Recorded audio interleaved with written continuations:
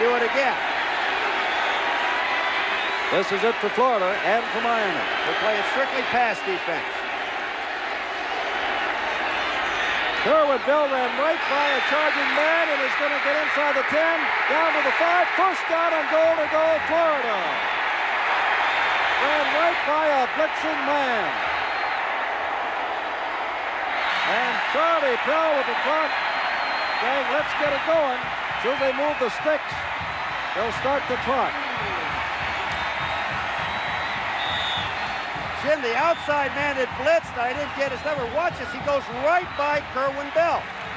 Here he is, right on the outside. That's number 90, Victor Morris. He's avoiding the blocker. Look at Kerwin Bell. Still, he's going for the first down. He knows he has to get the, try to get at least the first down, hoping for the touchdown. 47 seconds left. First down and goal to go from the five. Kerwin Bell looking down. He's got a man. Neal touchdown with 41 seconds to go. Kerwin Bell throws his first touchdown pass of his career, and it may have broken the longest winning streak in the nation of Miami.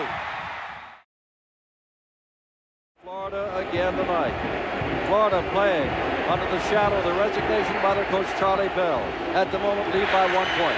36 seconds left. The ball's at the 27. Kosar has to go downfield.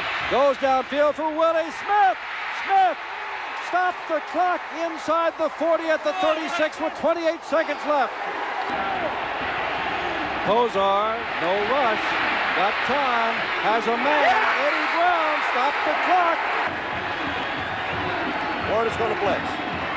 Kosar, they pick up the blitz, get the ball out to Oliver. He's out of bounds inside the 15. Kosar has to be careful. Can't let this ball be picked up. Oh, he's giving it to Oliver. And Oliver gets it right in front of the goal post with 10 or 12 seconds to go. Over yet. Florida hasn't lost it yet. At the moment, they lead by a point. Up.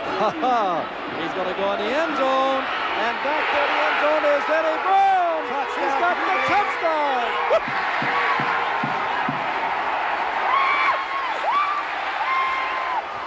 So I wasn't right. Jimmy Johnson and his team were. Eddie Brown with his first touchdown catch of the year. And that ball was right on the money, and Kosar, taking dead aim on the Heisman Trophy balloting, brought his team back. And for the fifth consecutive game, Miami has come from behind in the fourth quarter to go ahead, and they won them all. One second, anything can happen. But he has to be extremely happy. He's got a Kerwin Bell who has never played in a college game. He's in front of 72,000 people. The young man did not panic.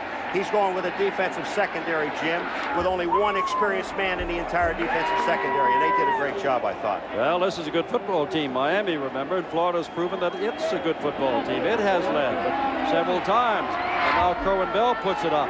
And the ball is intercepted by Tolbert Bain. Bain down the sidelines, and everybody giving up on him because they know the game is over, but he may score, and, And he he does. Everybody gave up because they knew it was too much. And when you see the score in the paper tomorrow, you'll think, well, Miami walloped them. But they got two touchdowns in the last seven seconds. One won the game, and the other iced the game.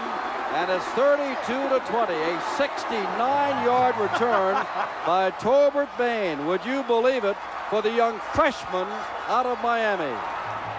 Oh, Jim, and, and look at that. I guess it's proper to say the pandemonium just broke out here.